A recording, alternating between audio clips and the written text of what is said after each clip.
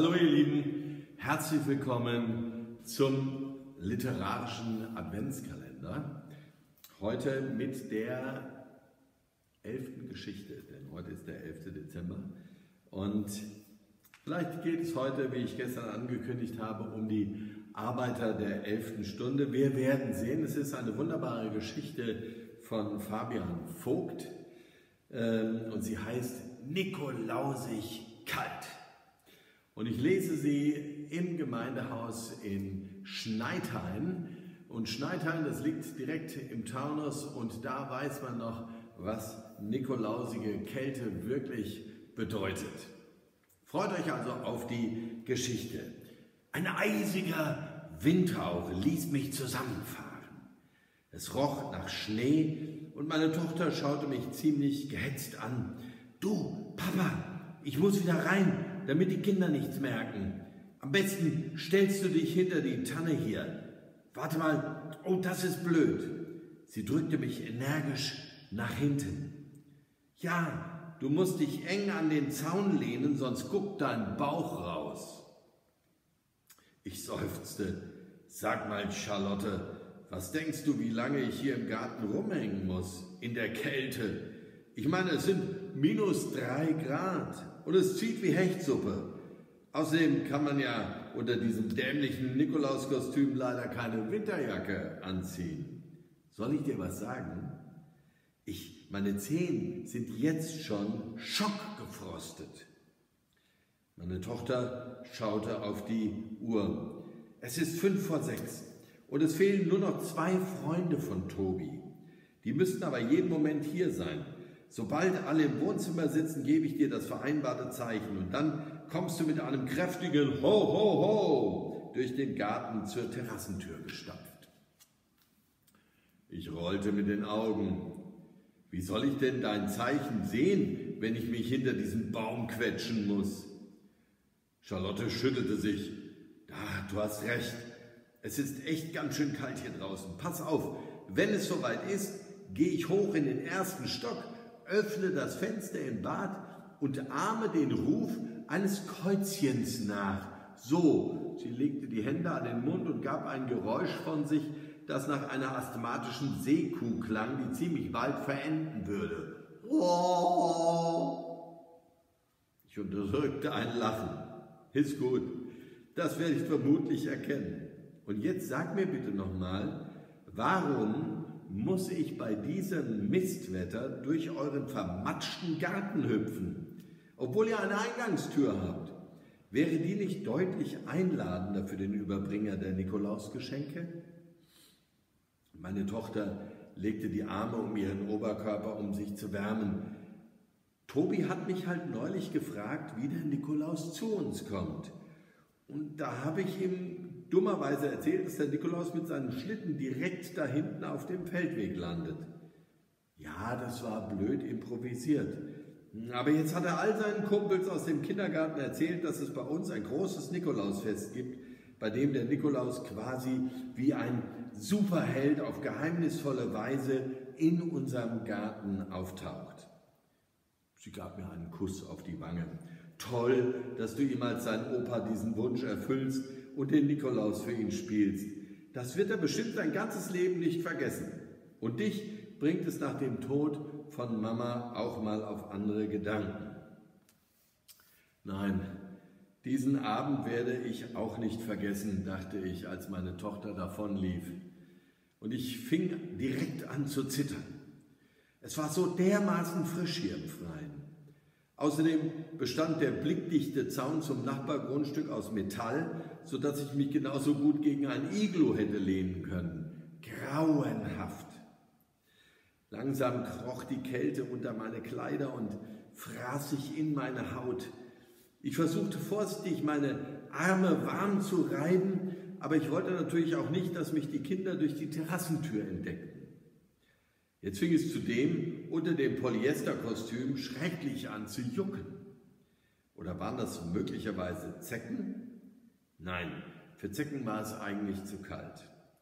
Aber schon, weil ich das Wort Zecken gedacht hatte, fühlte es sich plötzlich an, als ob überall an mir irgendwelche Insekten entlang liefen. Ah, da, war das der Ruf eines Käuzchens? Na, nein, leider nur ein fernes Quietschen von Bremsen. Ich versuchte, meine Hände zu wärmen, indem ich sie, mehr, indem ich mehrfach in sie hineinpustete. Dann schaute ich auf die Uhr. Ah, ich stand schon acht Minuten hier. So ein Müll. Bei aller Liebe zu meinem Enkel. Aber wenn ich die nächsten vier Wochen wegen einer Blasenentzündung im Bett verbringen muss, Papa! Ich zuckte erschrocken zusammen, weil ich vor lauter Pusten nicht gehört hatte, dass sich meine Tochter genähert hatte. Ja, was ist denn? Jonas, der beste Freund von Tobi, steht im Stau. Also mit seiner Mutter die hat gerade angerufen. Es dauert höchstens noch eine Viertelstunde. Was? Charlotte, echt? Ich, ich kann nicht. Ich, ich kann jetzt schon ganz. Verstehst du das? Das geht doch einfach. Papa, bitte.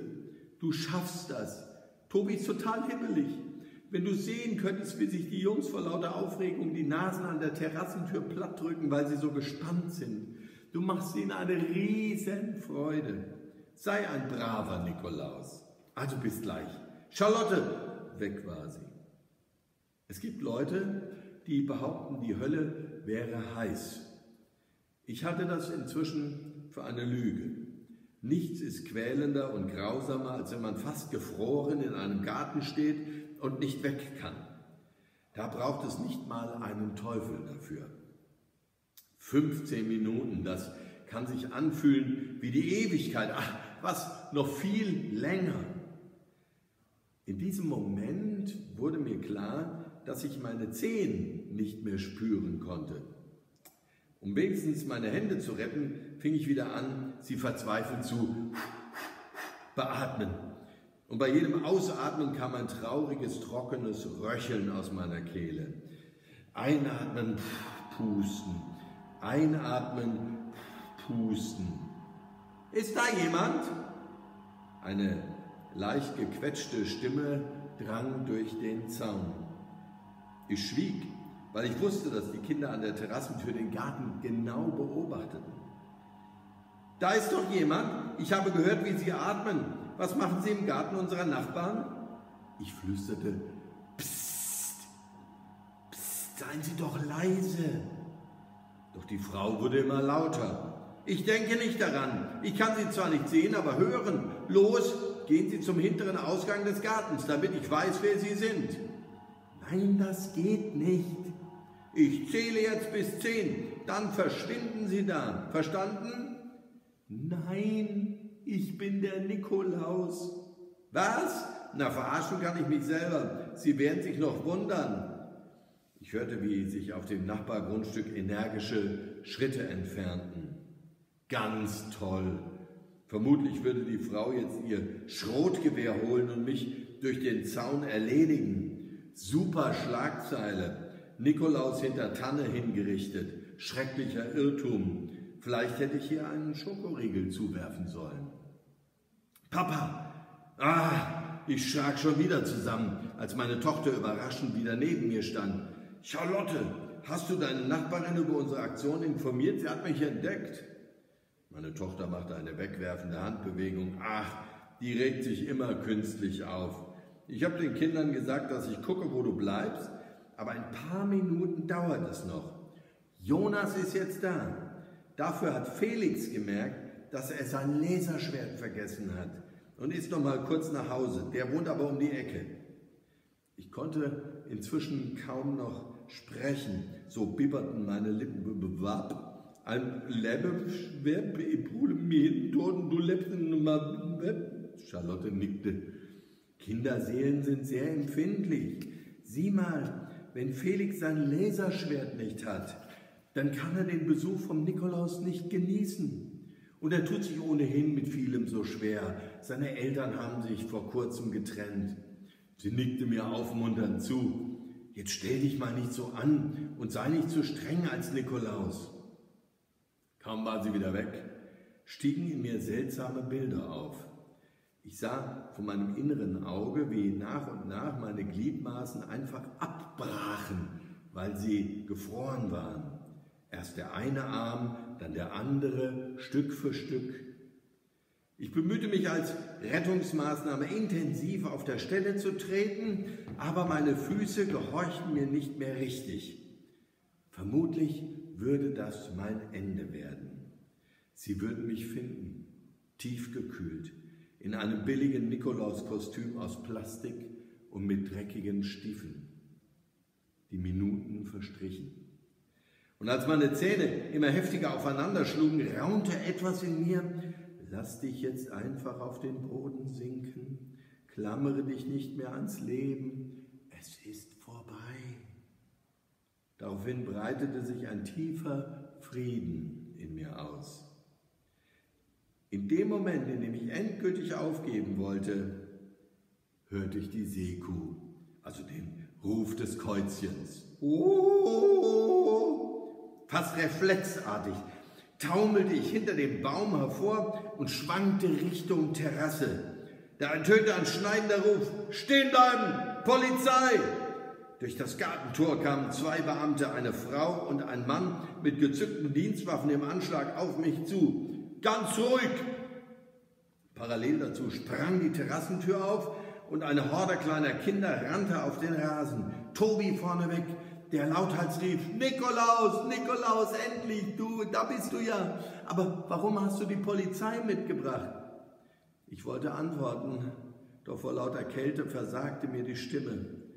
Einen Augenblick schien auch die Zeit wie gefroren. Dann trat die Polizistin einen Schritt nach vorne, schaute mich fragend an und sagte zu den Kindern, eure Nachbarin hat sich Sorgen gemacht, äh, dass der, genau, äh, dass der Nikolaus nicht rechtzeitig hm, zu euch kommt. Ihr wisst schon, äh, wegen der vielen Staus. Und da haben wir ihn, haben ihn eben mit einer Polizeieskorte hierher begleitet. Alle zogen wir Richtung Haus und die Bespaßung der Kinder konnte beginnen. Eine Stunde später lag ich mit zwei Wärmflaschen auf der Couch meiner Tochter, immer noch bibbernd, aber ohne mein Kostüm, das ich nach meinem Auftritt direkt in die Mülltonne entsorgt hatte. Dafür ziemlich glücklich. Die Kinder hatten mit großen Augen zugehört, als ich ihnen erzählt hatte, dass der Nikolaus den Menschen schon immer gerne geholfen hat, dass es ihm wichtig ist, dass alle glücklich werden können und dass sie erfahren, dass Gott sie liebt weil diese Liebe noch viel bedeutender ist als alle Schokolade der Welt. Und jetzt schaute ich zum zehnten Mal auf die Visitenkarte, die mir die Polizistin in die Hand gedrückt hatte, als sie später nach meinem Namen gefragt hatte. Rüdiger? Bist du der Rüdiger, der damals mit mir in der Tanzschule war? Ich bin die Sabine. Erinnerst du dich nicht? Oh, und wie ich mich erinnerte. Natürlich, Sabine. Sie grinste. Damals hast du ja nicht getraut, mich mal auszuführen. Na, vielleicht wagst du es ja jetzt. Doch während ich noch überlegte, ob ich es wirklich wagen sollte, sprang Tobi auf meinen Schoß. Sag mal, Opa, vorhin war ja der Nikolaus da. Echt cool. Nur eins verstehe ich nicht.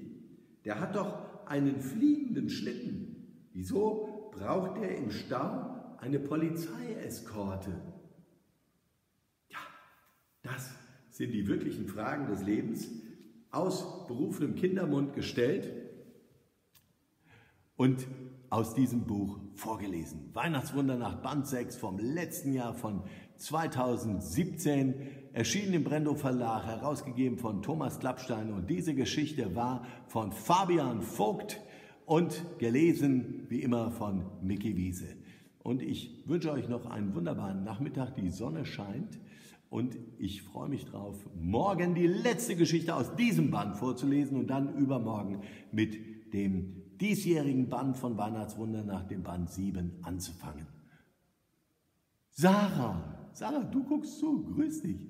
Liebe Grüße, also dann, tschüss.